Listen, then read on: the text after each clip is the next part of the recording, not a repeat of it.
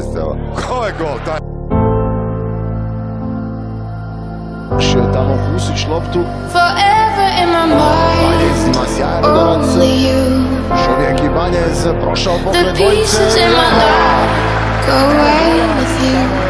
Sudačka zastavica ostaje Forever in my Vratara mind, Denisa Krkleca, only you. tako je, The pieces in ostavljena my za i life Banjeza i onda away with you. Prolazi taj lopta jednostavno pokraj Varaždinskog vratara i to je vodstvo Dinama 2-0. Treći mislim pokušaj Banjeza.